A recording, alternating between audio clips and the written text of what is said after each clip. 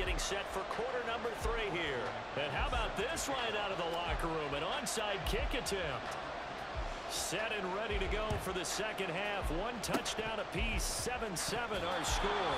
Great job by the kick team there to get the football, but also don't forget about the man that started it, the lonesome kicker himself. I love that you brought him into it because he doesn't get nearly the attention he deserves. Oftentimes it's only when it's negative. In this case,